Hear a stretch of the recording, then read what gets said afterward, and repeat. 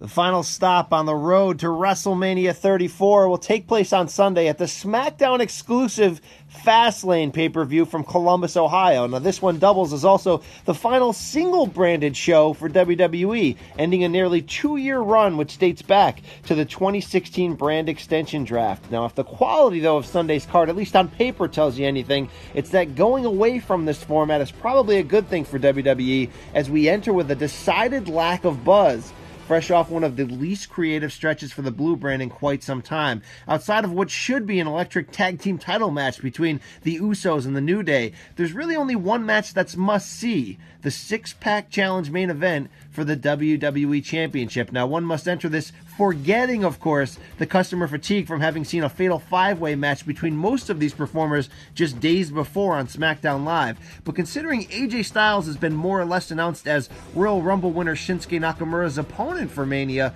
and considering Styles has faced really unjustifiable odds stacked against him, the smart money is on him retaining the belt on Sunday night. The real drama in this match should come for how the soap opera plays out for friends turn enemies, turn friends, turn back again of Sami Zayn and Kevin Owens, which, if done right, could lay the groundwork for a juicy Mania feud. We will also find out exactly where John Cena's storyline is headed should he lose and find himself really without a road of his own to the showcase of the Immortals? Will we hear The Undertaker's bells on Sunday? Or will Cena actually be left without someone to fight on April 8th? Considering how well Cena has done in trying to sell his inner doubt, the outcome of this may prove to be the most redeeming return from a truly underwhelming Fastlane card. I'm Brian Campbell, and for the latest WWE news and analysis, keep it locked to CBS Sports.